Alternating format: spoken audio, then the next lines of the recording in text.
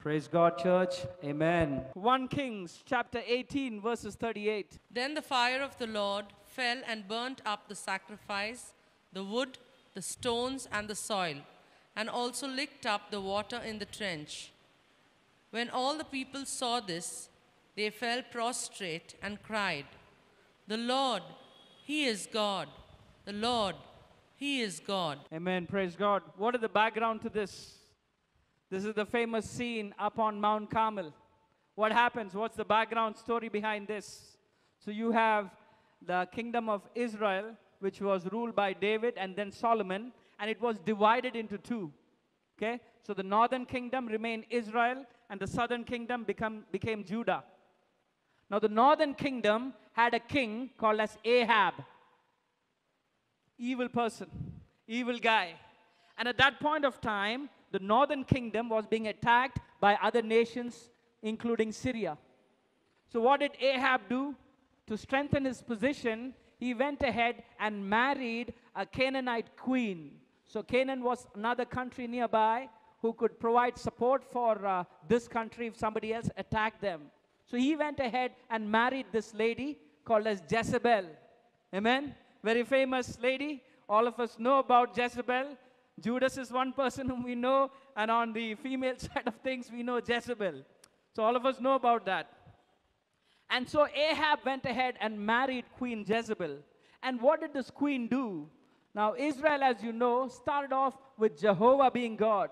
But when Queen Jezebel came in, she brought in practices from a different place, including Baal worship.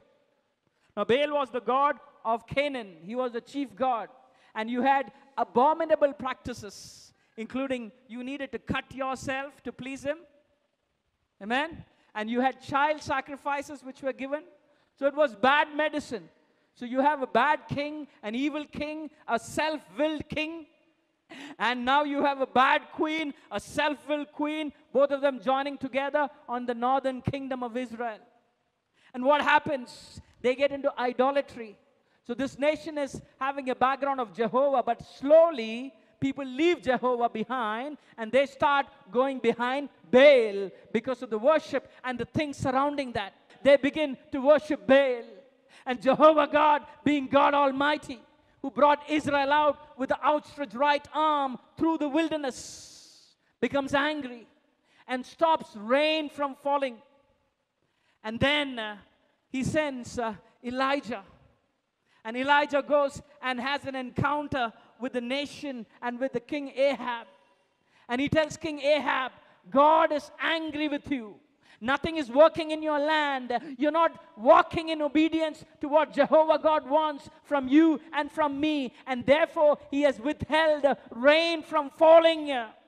Am I speaking to somebody watching online this morning? But the rain has been withheld in your life. Uh, the rain is not falling in your life. This morning, God is saying, I want to change that. I'm about to do a miracle because the God of the mountains is still God in the valley. Jehovah God says through Elijah that I have stopped rain, and this is because of the worship that is happening. And Elijah says, Israel, your God wants to bless you. Evangel family, your God wants to bless you. But you need to acknowledge that He is King of kings and Lord of lords. And therefore, He calls all of those priests for a contest, an open match, saying, uh, 400 of Baal and 400 of other prophets. You come on top of Mount Carmel. You give your sacrifices to your God.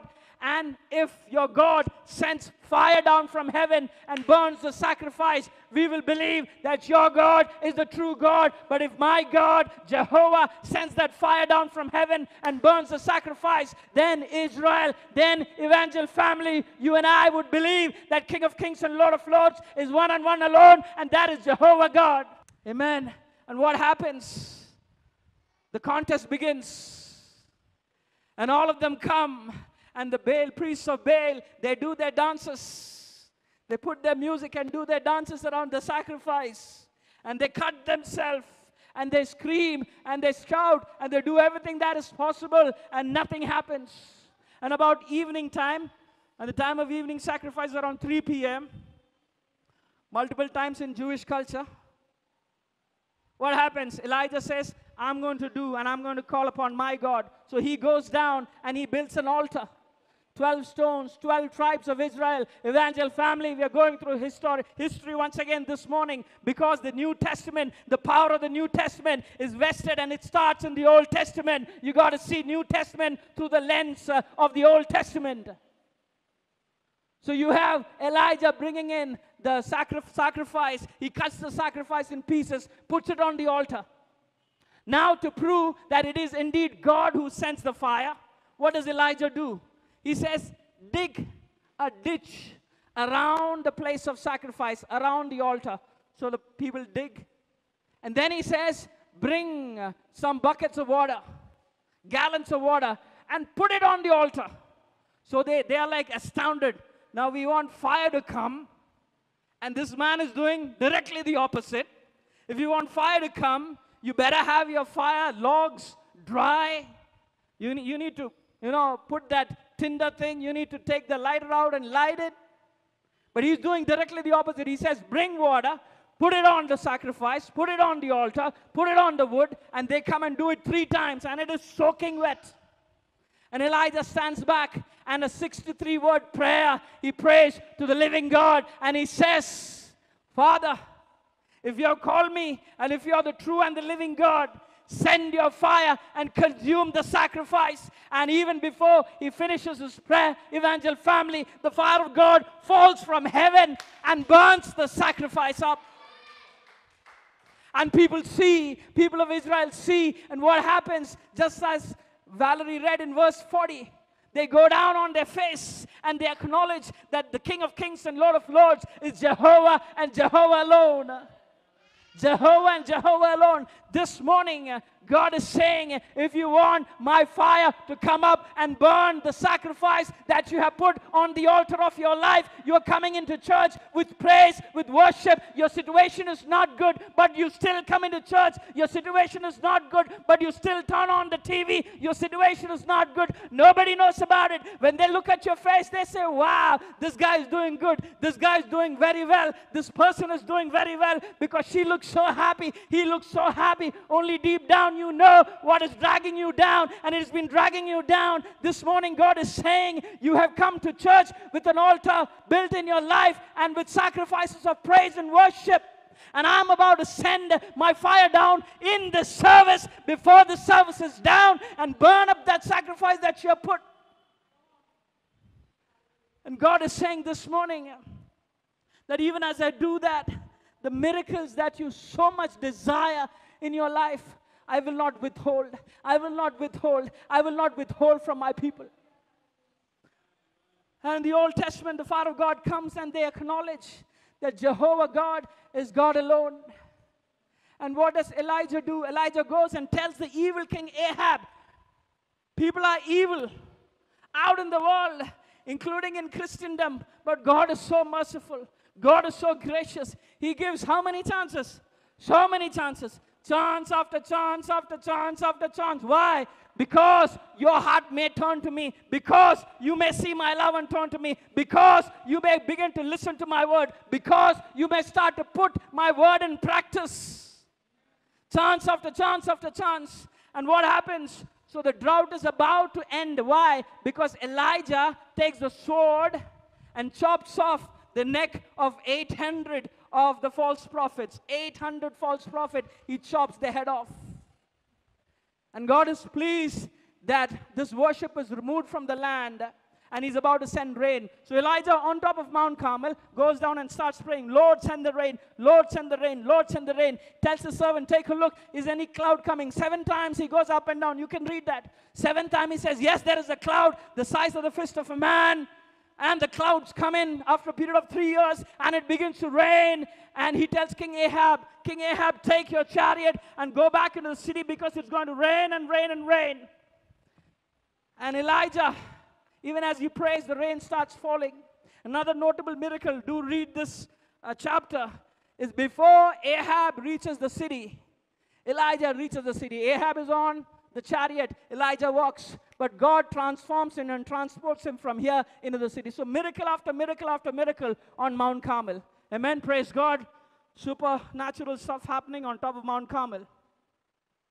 But in chapter 19, so this is the background. Chapter 19 is one of the lowest point for Elijah. In chapter 18, he saw what? Fire coming down from heaven and building and burning up the sacrifice. He saw in chapter 18 how God gave him the anointing to chop the necks of all of those false prophets who were into Baal worship and baby sacrifice. Let's read chapter 19, verses 1 to 4, please. And Ahab told Jezebel all that Elijah had done, and withheld and withheld how he had slain all the prophets with the sword. Then Jezebel sent a messenger unto Elijah, saying, So let the gods do to me, and more also, if I make not thy life as the life of one of them by tomorrow about this time. And when he saw that he arose and went for his life, and came to Bathsheba, which belongeth to Judah, and left his servant there. But he himself went a day's journey into the wilderness, and came and sat down under a juniper tree. And he requested for himself that he might die, and said, It is enough.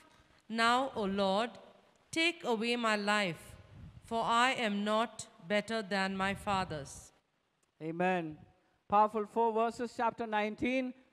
Elijah, one of the greatest prophet of the Old Testament, is hitting rock bottom.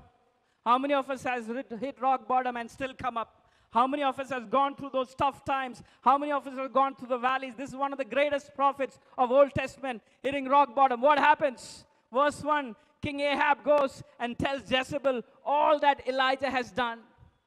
King Ahab, a self-willed evil king. Jezebel, self-willed evil woman, but difference in characteristics. If you go down the story, and I'm not going to go down the story today, you will see how Ahab reacts when he does not get what he wants. When you are self willed, you want that thing. And no matter what, you want that thing. Amen? So, how does Ahab react? You can read it later on. When he does not get the thing that he wants, he begins to sulk like a baby.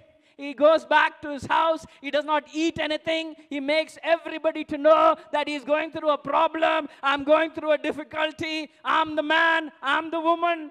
I'm not getting what I want. Therefore, all of you better know that this is how it is. I'm unhappy. Everybody gets to know you are unhappy. Self willed, not God willed.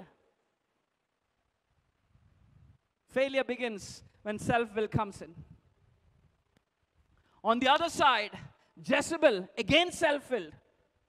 If she wants something, unlike King Ahab, who, if he does not get it, gets to sulk, Queen Jezebel, if she wants something, she goes out and gets it and hurts people and does everything that is required to get it. Self will. Jesus' name. Thank you, Lord, that your presence is here. God is saying that I'm ministering to somebody this morning. I'm ministering to somebody this morning. And every principality, every power, every witchcraft, every spirit of darkness which is haunting you, which is pestering you, I speak to it in the name of Jesus that you will not come against this child anymore in the name of Jesus, Christ of Nazareth, Son of the living God. Faith on the Word of God. Faith on the Word of God.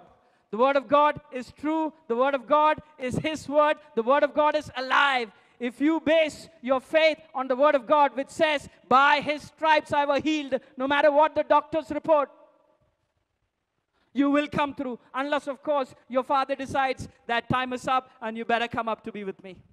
That is a different thing altogether. But otherwise, every time the enemy attacks, it says, You've not been given a spirit of fear, but a power, love, and sound mind. The psychiatrist says, Sorry, no chance. He won't be able to make it. All the drugs you need to give, Valium, I don't know what all drugs, for him to be soft and sleepy and in a happy mood. But your word of God says that he's not been given a spirit of fear, but a power, love, and sound mind. You better believe in this word. And as you believe in this word, you will begin to see signs, wonders, and miracles just like Jesus did. And in all humility, I say this morning that I've seen most of the miracles. The last trip I made on that prayer walk with Pastor Paul and the rest of them, I told you about that story where the demoniac came into the place and how the demon was delivered. Different kinds of demons exist, but this morning God is saying, I want to give you power over the demons, but it will only come when you have faith, as small as the mustard seed, and fasting and praying is what will give you the power. What am I saying this morning? Jesus comes down into the valley and does the miracle. But the disciples never learn that the God of the mountain is still God in the valley till after Pentecost. They still don't get it that the God of the mountain is God in the valley. They have seen all kind of miracle in John chapter 2. First, God turns water into wine, and then he goes on to heal the leper, and then he goes on to heal the uh, ask, raise the dead. And then he goes on to do every kind of miracle, setting people free from demons, healing the sick, leper, the man with the withered hand, all kinds of miracles. And in Matthew chapter 14, let's spend some time there. Matthew chapter 14, verses 15 to 21, please.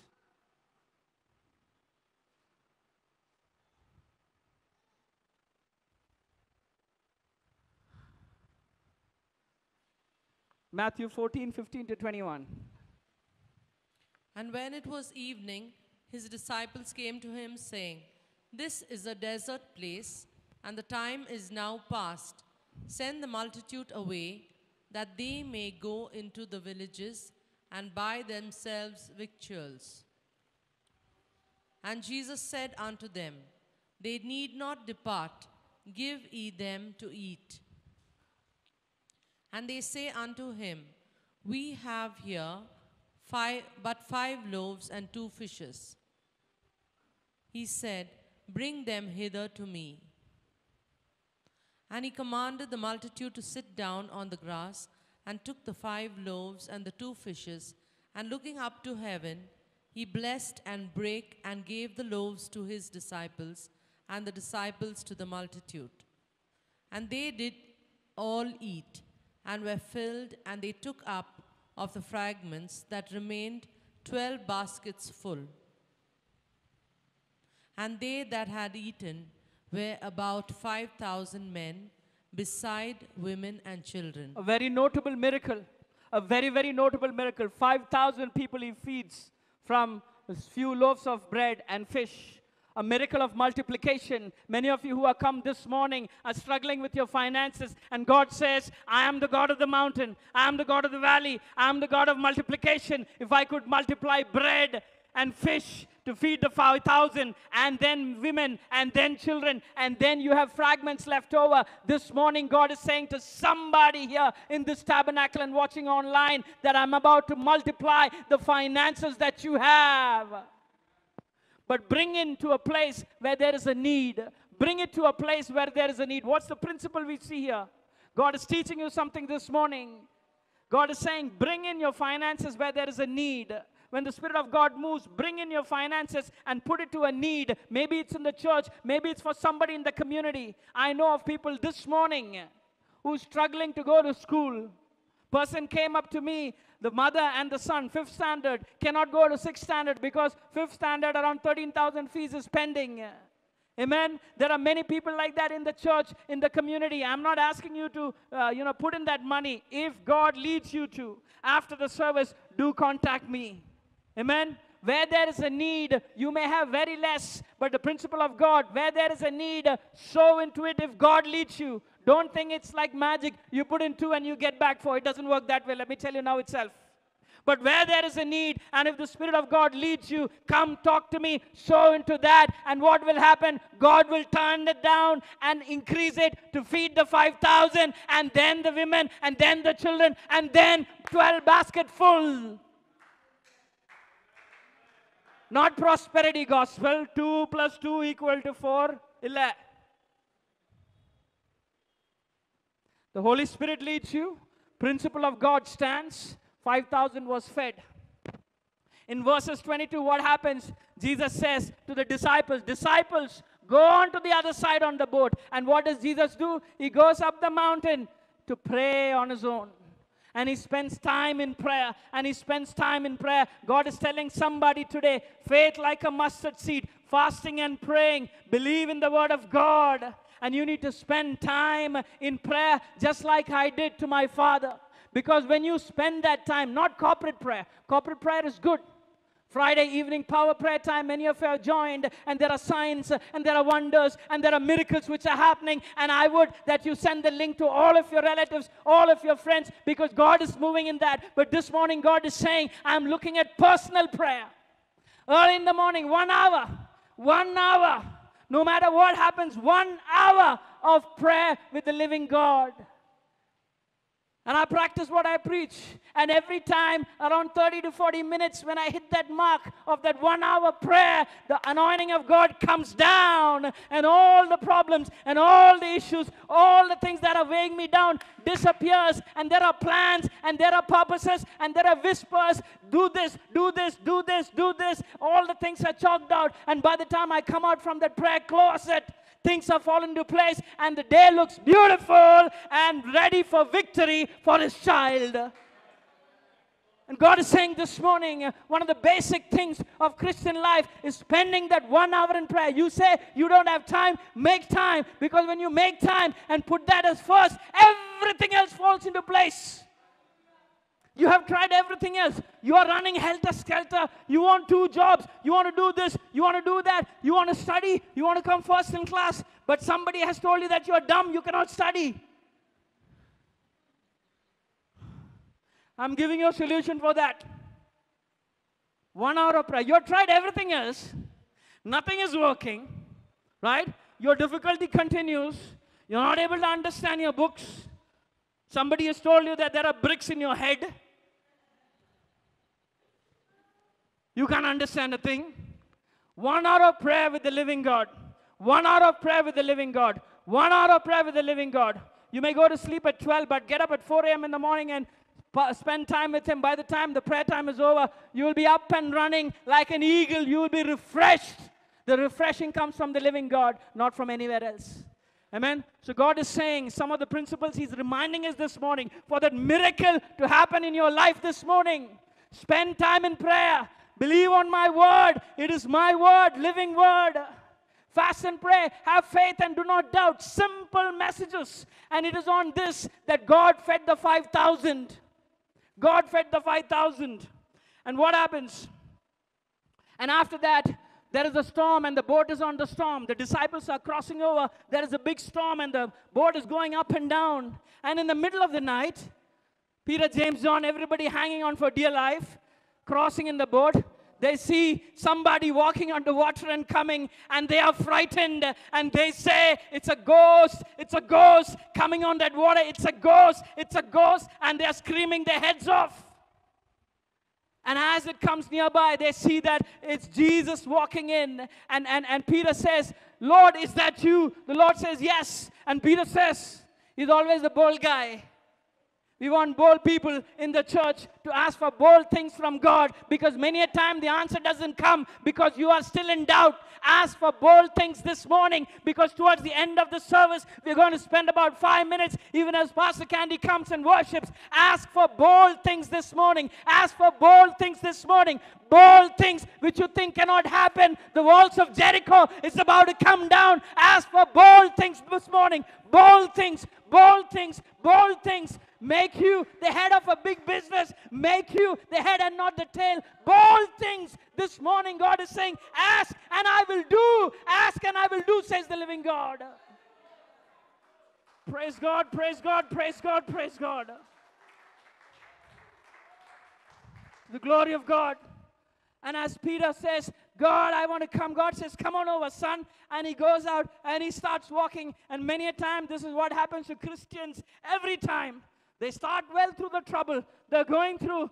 Their wives are looking, whoa, my husband is handling this like, whoa, that is the reason I married him. Yes. Just as she finishes that, this fellow takes his eyes off Jesus, looks at all the situation around him, and just like Peter starts sinking. This morning, somebody is in that situation. God is saying, I'm going to reverse that, but you need to ask for bold things. And that was another miracle. So, God of the mountain, is God in the valley? Is God of the sea? Is God of the storm? Is God of the weather? Because the moment they go back into the boat, everything becomes still. Amen. So we saw Elijah, we saw Jesus, Mount of Transfiguration, Moses. Moses knew God of the valley, and we close now.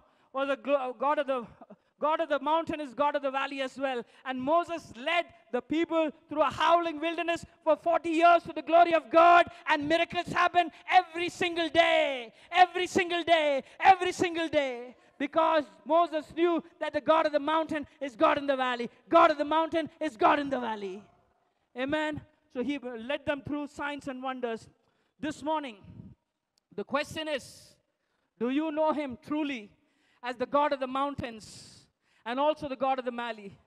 If you do, then get ready for the miraculous to flow. If you do, then get ready for His glory to come down. If you do, then get ready for His anointing to come. If you do, then get ready for the fire of the living God to come down into your life. Enough is enough. You and I are Christians. You and I are called as Christians by His name. We are identified as followers of Jesus. And Jesus this morning says, I am the one who fed the 5,000. I am the one who raised the dead. I am the one who calmed the sea. I am the one who made the withered hand straight. I am the healer. And if I am all of those things, and I am that I am, is saying this morning, ask of me and you shall receive, but ask bold.